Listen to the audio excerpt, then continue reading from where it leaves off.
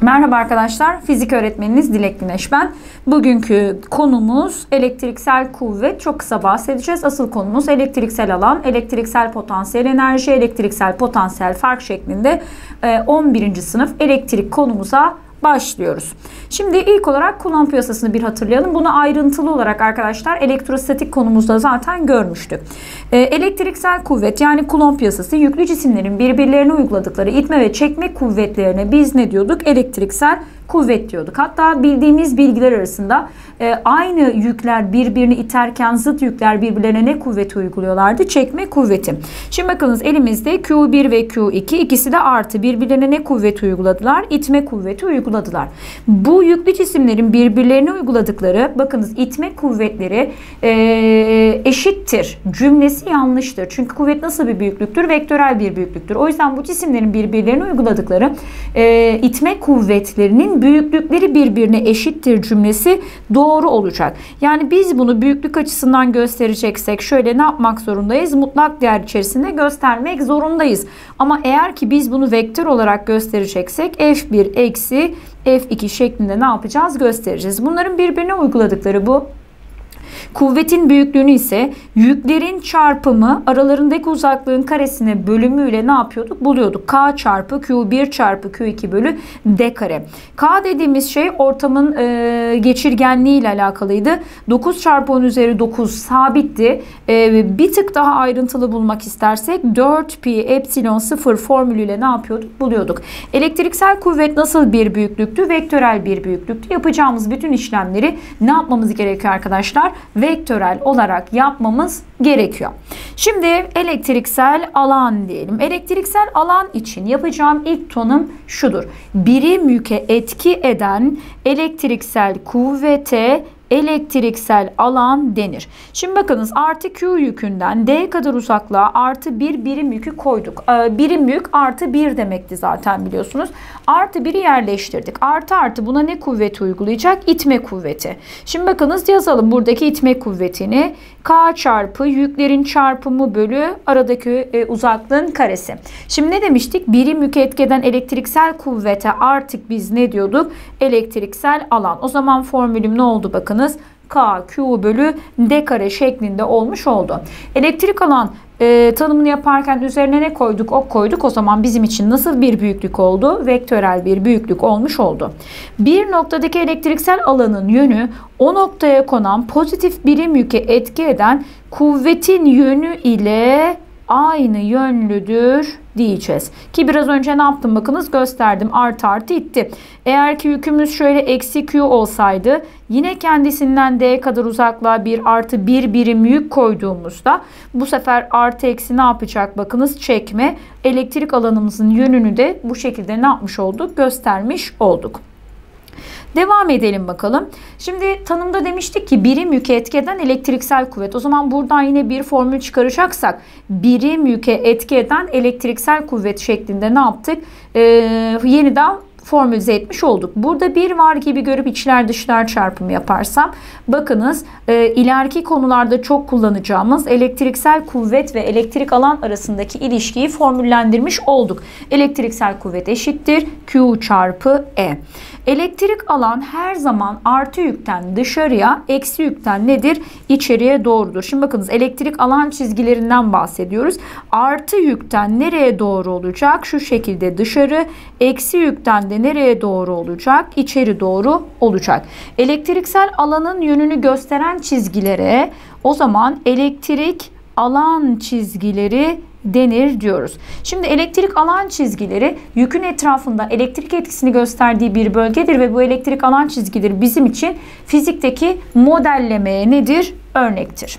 Şimdi o zaman bakalım elektrik alan çizgilerinin özelliklerine. Elektrik alanın en şiddetli olduğu yerler olduğu yerler alan çizgilerinin sık olduğu yerlerdir. Elektrik alan e, şiddetinin e, az olduğu yerlerde ise elektrik alan çizgileri ne olacak? Seyrek olacak. Şimdi şöyle de yorumlayabiliriz. Elektrik alan şiddetinin fazla olduğu yerlerdeki yük yoğunluğu daha fazladır. Seyrek olduğu yerlerde yük yoğunluğu daha azdır da denilebilir. Elektrik alan çizgileri hiçbir zaman birbirlerini ne yapmazlar? Kesmezler. Yani şu şekilde artı artı. Şöyle bakınız hiçbir şekilde birbirlerini ne yapmayacaklar? Kesmeyecekler. Artı yükten nereye doğruydu? Dışarı doğruydu. Elektrik alan çizgileri girdikleri ve çıktıkları yüzeye daima diktirler. Şöyle yazalım. Şimdi bakınız geldi bu yüzeye nasıl girdi? Dik. Buradan buraya ne yaptı? Bakınız girdiği ve çıktığı yüzeye her zaman neydi? Dik demiştik. Birbirlerini kesmezler. Şimdi bakınız şurada elektrik alan çizgilerinin değmediği bir bölge var. Burada elektrik alan ne diyeceğiz? Sıfır diyeceğiz. Aynı zamanda elektrik alan çizgileri artı yükten eksi yüke doğrudur. Bakınız artıdan eksiye doğru, artıdan dışarı, Eksiden de neydi? İçeriydi. Şimdi e, ÖSYM geçmiş yıllarda sadece bu okların yönüne bakarak da bunların yük işaretlerini sorduğu basit sorularda oldu. Yani burayı e, küçümsemeyin. E, gayet sorunun çıktığı bir yer. Şimdi elektrik alanın yönü artıdan nereye doğrudur? Eksiye doğrudur. Elektrik alanın yüklü cisme uyguladığı kuvvet diyelim bakalım. Az önce demiştik ki birim yüke etkeden elektriksel kuvvet elektrik alan ve buradan da elektriksel kuvvet Q çarpı E şeklinde ne yaptık? Bulduk. Şimdi elektrik alanın yönü artıdan eksiye doğruydu. Bu elektrik alan içerisine ne yapmış olduk şu an? Artı yüklü cismi yerleştirdik. Şimdi bakınız burası artı burası artı. Ne yapar? Artı artıyı itti. O zaman e, itme elektriksel kuvvetimiz oldu. Şimdi burası artı burası eksi. Eksi yüklü cisme etki eden elektriksel kuvveti gösterdik. Şimdi elektrik alan içerisinde nötr yüksüz cisme elektriksel kuvvet etki etmez. Şimdi şuraya bakalım. Şuraya genelleme yapacağız. Şimdi bakınız o zaman artı yüklü cisme etkeden elektriksel kuvvet her zaman elektrik alanla aynı yönlü. Eksi yüklü cisme etkeden elektriksel kuvvet her zaman elektrik alanla zıt yönlüdür. Bakalım. Artı yüklü cisme etkeden elektriksel kuvvet her zaman elektrik alanla ne dedik? Aynı yönlü. Eksi yüklü cisme etkeden elektriksel kuvvet her zaman zıt yönlüdür dedik. Düzgün elektrik alanda yüklü cisimlerin hareketini inceleyelim bu sefer. Şimdi şu şekilde düzgün elektrik alana şöyle artı Q yüklü cismimiz ne yapsın? Girsin. Şöyle V hızıyla girdi. Şimdi buna artı yüklü cisme elektrik alanla aynı yönlü bir ne etki edecek? Bakınız elektriksel kuvvet. Şimdi bir kuvvet etki etmeseydi böyle düz yörünge izleyecekti. Şimdi bu kuvvetin etkisiyle şu yörüngeyi izleyecek. Hareket boyunca benim hızımın şu bileşeni sabitken bu sefer bu yörüngeden dolayı bakınız şöyle bir V üssü hızı gelecek ve benim burada bakınız şöyle şuradaki bileşke hızımız ne yapacak? Artacak. O zaman bakalım. E, artı yüklü cisim elektrik alanla e, de ne demiş? Elektrik alanla aynı yönde yönelir. Evet aynı yönde yeniliyor bakınız ve hızı artar dedik. Şimdi bu eksi e, artı yüklü içinde. Bakalım eksi yüklü için ne olacak? Eksi yüklü cismi koyduğumuzda şimdi bakınız şöyle geldi eksi yüklü cismimiz. E buna elektriksel kuvvet ne yapacak? Zıt yönde etki edecek. Elektrik alanı zıttı. Şimdi bunun izleyeceği yörünge şöyle oldu. O zaman bu sefer ne oldu? Eksi yüklü cisim elektrik alana hangi yönde? Zıt yönde yöneliyor. Biraz önce anlattığımız gibi iki hız bileşeni olacağı için bu sefer hem yatay hem düşey hızının büyüklüğü yine ne yapar diyeceğiz? Artar diyeceğiz. Nötr cisim e, yönünü yani yönü demeyelim aslında doğrultusunu ve hızını değiştirmeden hareket eder. Neden? Çünkü nötr cisme elektrik alanda elektriksel kuvvet etki etmiyordu. Şimdi buradan bakınız bu anlattığım bilgi kısmından soru bankalarında denemelerde zaten bolca karşınıza soru çıkıyor. Lütfen buralara ne yapınız? Dikkat ediniz. Şimdi yine önemli bir ayrıntı e, bir not var. Bu not aslında manyetik alandan sonra sizin için daha önemli hale gelecek. Elektrik alan yüklere çembersel hareket yaptırmaz. Çünkü manyetik alanda da e, yüklü parçacıkların manyetik alandaki hareketini incelediğimizde orada da çembersel hareket yapacaklar. İşte bu sorular ikisini bir arada sorduğunda bizim devreler ne yapıyor? Yanıyor. Soruyu yanlış yapıyoruz. O yüzden bu notlara dikkat edelim. Şimdi yine e, yüklü parçacıkların elektrik alan içerisindeki hareketlerini incelemeye devam edelim. Şimdi bakıyorum birincisinde yine şöyle bir elektrik alanımız var. E, bu elektrik alan artı yüklü cisme etki eden elektriksel kuvvet ne yapacak? Elektrik alanla aynı yönlü. O zaman K cismi alan yönünde ne yapar? Düzgün hızlanır.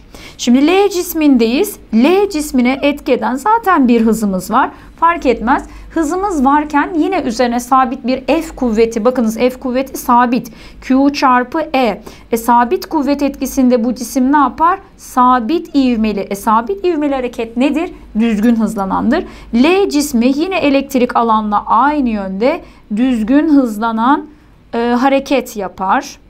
Hareketine devam eder diyelim.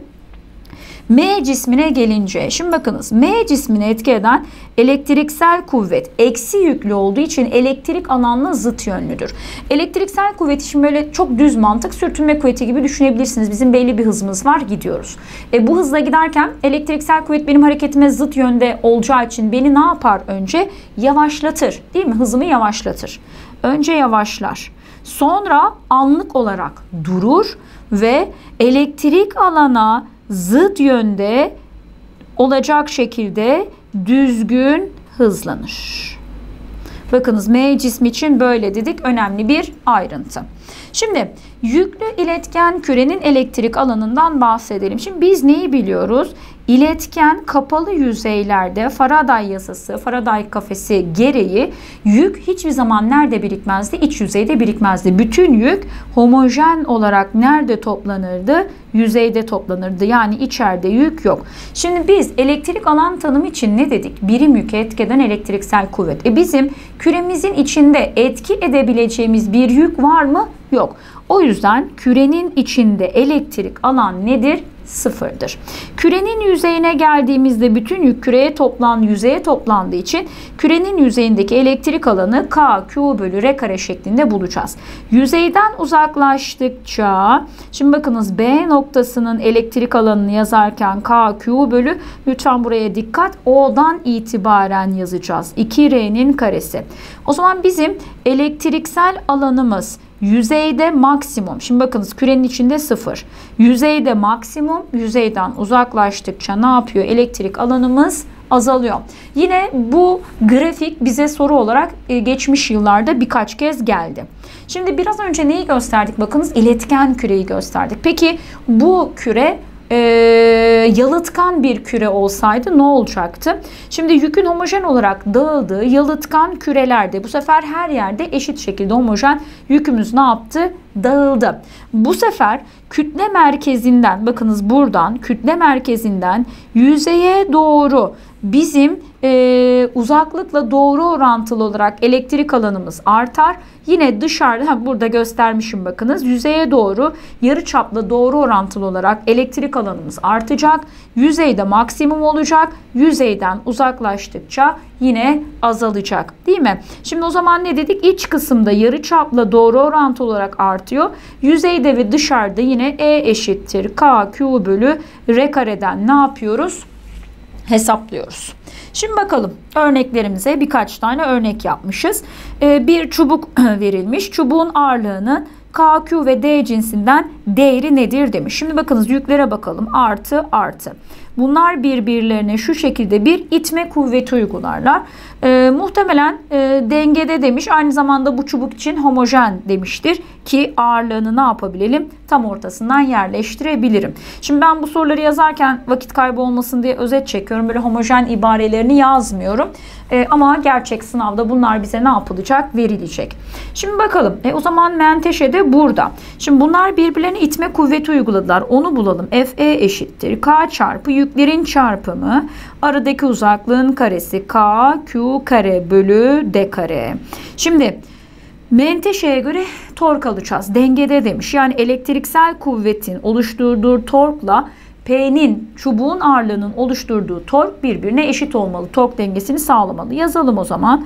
K Q kare bölü D kare çarpı bunun buraya olan uzaklığı 2D eşittir P çarpı D. Şunlar gitti. Kimi arıyoruz? Çubuğun ağırlığını.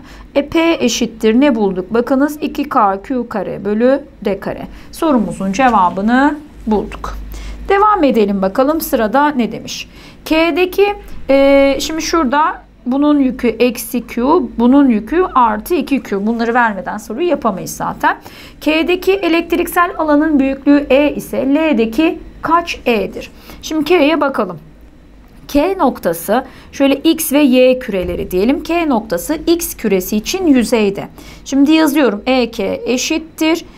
Eksi K Q bölü R kare. Şimdi K noktası daki elektrik alan E ise demiş. Şimdi L noktasını soruyor. K aynı zamanda Y küresi için nedir? İçeride. Şimdi Y küresi için içeride olduğundan dolayı kürenin içinde elektrik alan sıfırdı oradan sıfır gelecek. Biz buna E demişiz. Şimdi bakalım L noktası iki küre içinde dışarıda. Değil mi? O zaman yazıyorum. EL'yi yazalım. Eksi K Q bölü 4R kare 2R demiş. Artı 2KQ bölü 4R kare. Buradan ne geldi? Artı KQ bölü 4R kare gelmiş oldu. Şimdi e, buradan yola çıkacak olursak L'deki kaç E'dir demiş. Şimdi biz eksi KQ bölü R kareye E dedik değil mi? O zaman KQ bölü R kare ne olur? Eksi E olur. Şimdi burada buraya eksi E yazarsak cevabımız ne olmuş oldu? Eksi E bölü 4 olmuş oldu. Şimdi 87 yılında bayağı eski çıkmış bir sınav sorusu. Artı köklü cisimler sabit tutulmakta. Yani bunlar neymiş? Sabitmiş. Ee, eksi Q yüklü cisim bu yüklerin elektrik alanındaki K'den bırakılırsa nasıl hareket eder? Yani K'den M'ye bize hareketini soruyor. Şimdi bakalım artı eksi çekme kuvveti artı eksi çekme kuvveti. Yük büyüklükleri aralarındaki uzaklıklar eşit olduğuna göre e, bunların üzerine etkeden kuvvetlere F diyelim. F F bu ikisinin bileşkesi şuraya doğru F'tir. Şimdi o zaman bu F kuvvetinin etkisinde serbest bıraktığımızda ne olacak? O'ya gelinceye kadar hızlanır. Hızlanır. Şimdi O'ya geldik. O'dan buraya geliyoruz. Eksi Q. Şöyle, şöyle, şöyle bakınız. Yine kuvvet bu. Bu sefer biz O'dan M'ye giderken biz O'dan M'ye götürmeye çalışıyoruz.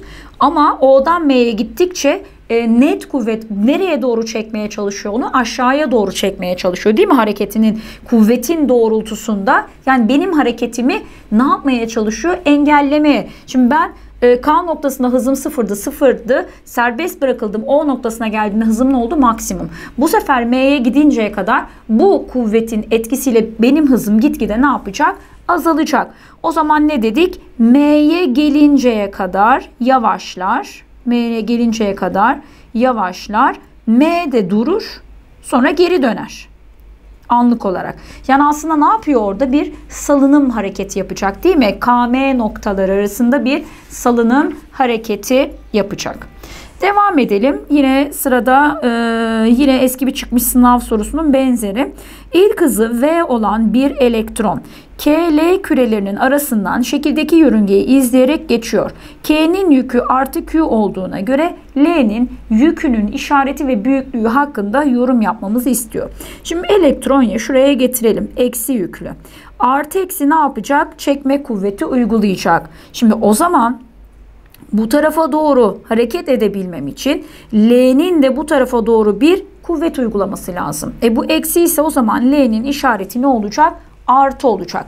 Şimdi K'nin uyguladığına FK, L'nin uyguladığına FL diyelim.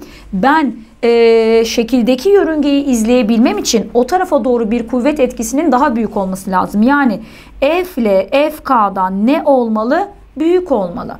Şimdi F'leyi yazacak olursak K çarpı elektronun yükü çarpı e, QK böyle aradaki uzaklığın karesi. Şöyle şöyle yapalım. Büyük olmalı demiştik. Pardon bu şöyleydi. Bu FK'ydı yazdığımız. Şöyle yapalım. FK. Şöyle okuyup göstermeyelim. F'leyi yazalım. K çarpı Q elektron çarpı QL bölü D kare. Şimdi F'lerin daha büyük olabilmesi için K'lar, Q'lar, D'ler aynı. O zaman L'nin yük büyüklüğü kimden büyük olmalı? K'dan. K'nın yükü neydi? Artı Q idi. O zaman cevabımız şu olacak. L'nin yükü artı Q'dan fazla olmalıdır diyeceğiz. artı Q'dan fazla olmalı diyoruz. Şimdi sıradaki örneğimize bakalım. Yüklü L cismi sürtünmesiz yalıtkan eğik düzlemin üzerinde dengededir. K ve L küreciklerinin birbirine uyguladığı itme kuvvetinin bulunabilmesi için gereksizdir. Bakın sorulara dikkat edelim. Şimdi bunlar eksi eksine kuvvet uygularlar. itme kuvveti gösterdik. Şimdi bunun aşağı doğru ağırlığı MLG bileşenlerini ayırdık. MLG sin alfa sürtünmesiz demiş. Yani o zaman e, diğer kısımlara gerek yok. Ve ne diyor? Sihirli kelime burada dengededir. Yani elektriksel kuvvet mlg sin alfaya eşitmiş. E diyordu zaten bize bu kuvveti bulmak için neler gereksizdir? Bakıyorum alfa açısına ihtiyacım var. Bakıyorum L'ye ihtiyacım var. Bakıyorum G'ye de ihtiyacım var. Ama kime ihtiyacım yok bakınız. K cisminin kütlesine ihtiyacım yok. O yüzden hangisilerinin bilinmesi gereksizin cevabı MK'yı bilmek gereksiz olacak. Şimdi bakalım yeni bir konumuz elektriksel potansiyel enerji. Şimdi elektriksel potansiyel enerjiyi anlatmadan önce normal enerjiyi düşünelim. Mekanikte öğrendiğimiz enerjiyi düşünelim. Şimdi M kütleli bir cismi ilk hızsız aşağı doğru serbest bıraktığımızda burada bu cisim ağırlığının etkisinde ne yapacak? Bir iş yapacak değil mi? Burada bir kuvvet iş yaptı. Kim? Bu ağırlık. Bu yaptığı iş karşısında bu cismimizin potansiyel enerjisi azalırken ne kazandı? Bir kinetik enerji kazandı değil mi? Şöyle 1 bölü 2 mv kare. Yani şöyle düşüneceğim. Bir kuvvet iş yaptı ve benim sistemimin potansiyel enerjisi azaldı. Şimdi aynı şeyi yaylarda düşünelim. Bu benim yayımın ilk durumdaki hali olsun. Daha sonra ben bunu bir F kuvvetiyle X kadar sıkıştırayım. Şimdi burada F kuvvetimiz iş yaptı ve bu yayda ne depolandı bakınız? Bir esneklik, potansiyel enerji. Şimdi o zaman toparlayalım. Demek ki sistemlerde bir kuvvet ya da bir kuvvete karşı iş yapılacak ve bu sistemde bir enerji depolanacak değil mi? Şimdi konumuz ne? Elektriksel potansiyel enerji. O zaman burada iş yapacak ya da karşı iş yapacak kuvvet kim? Elektriksel kuvvet. O halde bir sistemde elektriksel kuvvetlere karşı yapılan iş elektriksel potansiyel enerjiye dönüşür diyeceğiz. Tamam mıyız? Bu bir. Şimdi o zaman bakalım. Şimdi şurayı yorumlayalım. Elektriksel kuvvetlere karşı yapılan ya da elektriksel kuvvetlerin yaptığı iş elektriksel potansiyel enerjiye dönüşür dedik. Şimdi bakınız artı Q yükünü sabit tuttuk. Bu yapacağımız yorum soruları için. Lütfen dikkatli olunuz. Şimdi Q yükünü serbest bırakacağız ama önce O'dan A'ya taşıyalım. Bakınız O'dan A'ya taşıyalım. Artı artı biz buna etkeden elektriksel kuvveti bu şekilde ne yaparız gösteririz. Yani ben bunu aslında müdahale etmeden serbest bırakırsam benim hareket halindeki artı Q yüküm O'dan B'ye doğru hareket etmek ister. Ama ben ne yapıyorum şu an? Doğası O'dan B'ye gitmek istiyor ama elektriksel kuvvetin etkisinde ben ters yönde bunu hareket ettirmeye çalışıyorum. Yani şu an benim yaptığım iş zor bu tarafa gitmek istiyor. Ben diyorum ki hayır bu tarafa gideceksin. Yani bunu zorluyorum. Zor iş yapıyorum. Kime karşı iş yapıyoruz? Bakınız elektriksel kuvvet bu tarafa götürmek isterken ben elektriksel kuvvetlere zıt yani elektriksel kuvvetlere karşı iş yapıyorum. Elektriksel kuvvetlere karşı iş yapılır. Şimdi bakın yorum sorusu için burayı toparlıyoruz. Yaptığımız iş zorsa elektriksel kuvvetlere karşı iş yapıyorsak sistemin elektriksel potansiyel enerjisi artar ve yaptığınız matematiksel işlemlerin sonucu artı çıkmak zorunda. Şimdi ne yapalım? Diğer kısmı inceleyelim. Yani O'dan B'ye taşıyalım. O'dan B'ye taşıdığımızda ise e zaten elektriksel kuvvetlerin onu itmek istediği yön. Yani benim ekstra bir şey yapmama gerek var mı? Yok. O yüzden burada yapılan iş nedir? Kolay iş. Bu kolay işi kim yapıyor? Elektriksel kuvvetler iş yapıyor ve bu yapılan kolay iş sistemin elektriksel potansiyel enerjisi azalır ve bulduğunuz matematiksel sonuçlar ne çıkmak zorunda? Eksi çıkmak zorunda. Şimdi o zaman bakalım. Q1 yükünün D kadar yakınına artı Q2 yükünü şöyle diyelim. Şurada bir Q1 yükümüz var. Q1 yükümüzün D kadar yakınına sonsuzdaki Q2 yükünü taşımak için yapılması gereken işe elektriksel potansiyel enerji denir diyoruz. Ve biz bunu elektriksel potansiyel enerjiyi K çarpı yüklerin çarpımı aradaki uzaklığa bölüyoruz. Şimdi bakınız elektriksel kuvvet, elektrik alan formüllerin hepsi birbirine ne yapıyor? Benziyor. O yüzden çok çok dikkatli olunuz. Bazılarında e, Q'lar bir tane, bazılarında D, bazılarında D kare.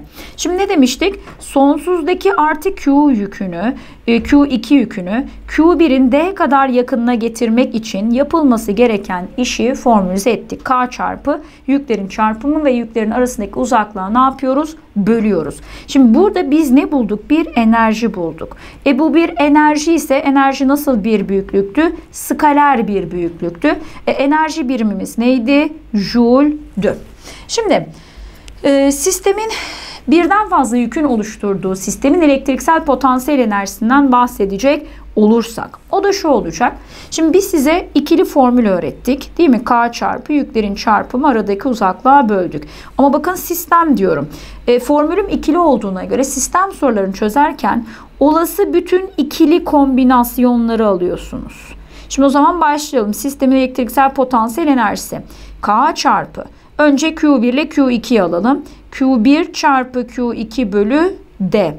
Şimdi burayla işimiz bitti. Q1 ile Q3'ü alalım. K çarpı Q1 çarpı Q3 bölü D. Bununla da işimiz bitti. Kim kaldı? Şu ikisi. Artı K çarpı Q2 çarpı Q3 bölü D. Sistemin elektriksel potansiyel enerjisini ne yaptık? Bu şekilde bulduk. Eğer ki yüklerimizden biri mesela eksi olsaydı. Hani şunu da ikinci alternatif olarak yapalım ya da şuraya hemen çizeyim kafalar kalır karışması. Eksi Q3, Q1, Q2. Şunlar da DD. Şimdi sistemin elektriksel potansiyel enerjisinde ne yapıyoruz? Olası bütün ikililer. Q1 ile Q2, Q1 ile Q3 ve şu. Şimdi yazıyorum EP. Önce Q1 ile Q2 işaret kontrolünü yaptık artı. Q1 çarpı Q2 bölü D. Bununla işim bitti. Şimdi buradayım. Artı eksine geldi. Eksi K çarpı Q1 çarpı Q3 bölü D. Bununla da işim bitti. Şimdi şuradayız. Yine işaret kontrolü. Eksi K çarpı Q2 çarpı Q3 bölü D. Enerji neydi? Skalerdi. Skaler olduğu için de yaptığımız matematiksel işlemlerde her zaman ne olması gerekiyor? İşaretlerinde dikkate almamız gerekiyor. Şimdi bakalım. Sonsuzdaki bir artı Q yükünü artı Q'nun D kadar yakınına getirmek için yapılması gereken iş. Şimdi e, iş dediğimiz şey neydi? Potansiyel enerjideki değişimdi. Yani sistemin son potansiyel enerjisinden ilk potansiyel enerjisini değiştirirsek yapılan işi buluruz. Şimdi ben size ekstra bir iş formülü öğrettim mi birkaç sayfa önce? Hayır öğretmedim. Demek ki elimizdekilerle yapmamız gerekiyor. Şimdi o zaman bakalım. Nereden nereye getiriyoruz? Bakın bu çok önemli. Sonsuzdan A'ya getirmek için. Neden önemli? Hani son ve ilk tespit edeceğiz ya. Sonsuzdan A'ya getiriyoruz. Demek ki bizim ilk durumumuz sonsuz. Son durumumuz ne olacak? A olacak. O halde yazalım. EP son dediğimiz şey kim? A. EP A'daki potansiyel EP e, ilk dediğimizde sonsuz. Şimdi bu yapılan işe eşit olacak. Sonsuzun potansiyel enerjisi sıfırdır. EP sonsuz sıfır. Şimdi o zaman ne yapacağız demek ki? A noktasının potansiyelini bulacağız. Şimdi bulalım. O ona eşit olacak. Şimdi demek ki benim yüküm getirdiğimiz yük şu. Buradaymış gibi düşüneceğiz. D kadar uzak demiş. Şimdi yazalım o zaman. İş eşittir. A'daki elektriksel potansiyel enerjiydi. Yükleri çarptık bölü D. Şimdi bulduk. Yapılan sonuç ne çıktı? Artı. Artı çıktıysa sistemin elektriksel potansiyel enerjisi artmıştır. Ve yapılan iş artı çıktığı için nedir? Zor iştir. Ve bu kime karşı yapılmıştır? Elektriksel kuvvetlere karşı iş yapılmıştır deriz.